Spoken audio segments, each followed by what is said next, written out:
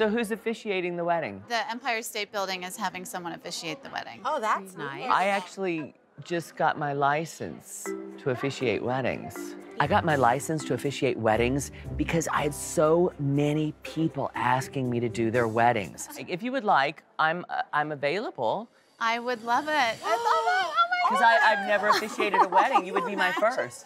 Would you like that? Aw, that's so sweet.